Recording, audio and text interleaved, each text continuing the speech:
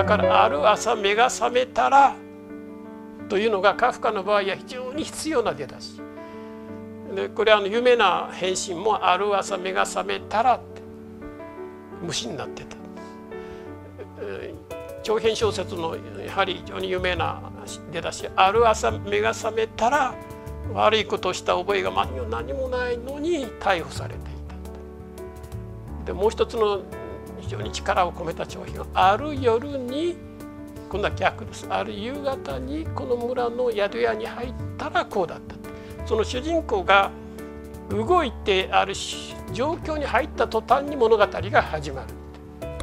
でナバホ族はここここから300キロぐらい離れたところの砂漠に、まあ、住んでるんですね。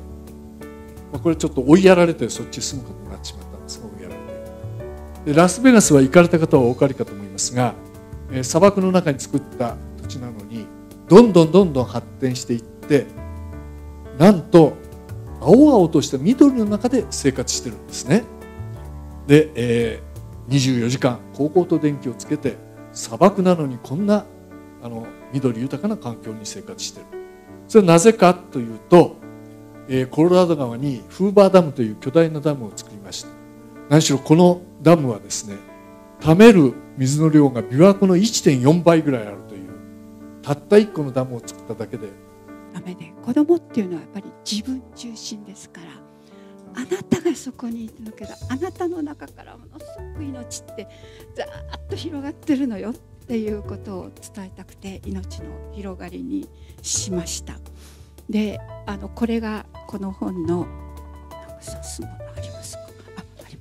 この本のあの1ページ目なんですがこれはうちの台所です。で毎毎年毎年これが不思議なことに5月になるとこの辺ではどうでしょうあの東京あの私のの家東京の家はあの割合緑の多い中にあるもんですからあのいろんな虫たちが来るんですけども5月になるとどこからか必ずどこから入ってくるのかよくわからないんですが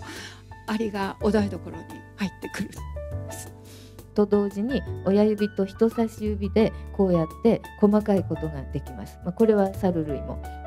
みんなできるんですね。ただ人間はあの足がそうはなりません。あの猿は足も1対4に分かれていてギュッと握ったりあの、まあ、これはやらないんですけどあのギュッと握ることができます。でも人間はそれを失ったんですね。なぜならあのまっすぐ2本足で歩くようになった。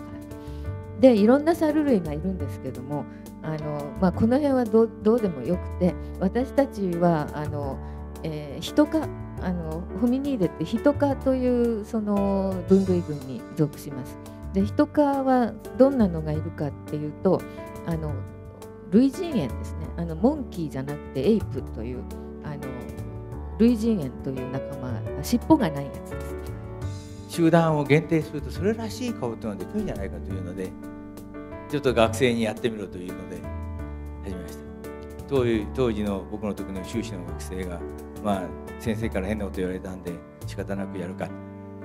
というので自分の友達同級生に声をかけてちょっと顔を貸してくれよと。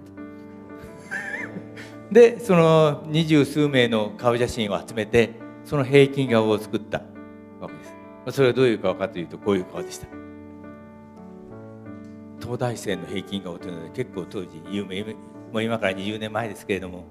有名になりました。かなり美男子なんですよね。びっくりするぐらい。神経細胞になったり筋肉細胞になったり血液細胞になったりいろんな細胞に分化することができるというわけで、まあ、再生医療というか我々の体を再生しようというふうに考えた場合には非常に都合のいい細胞になっていくらでも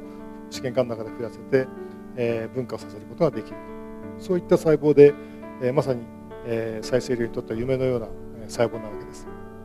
しかしこの ES 細胞も、まあ、いくつか問題があります。えここにですね「オア」と書いてありますけどどういうことかというとこの ES 細胞を作るためには将来我々の体というか我々自身になる可能性がある、えー、肺細胞を壊さないとできないつまりここで、えー、本来だったら人間になるかもしれないものを壊してしまうというそこに生命倫理の問題があると思います。別部曲というのを作りましてその中の一つで「反り反り滑り」というタイトルがついているので大体オーケストラなんかもね鈴でやるんですけども。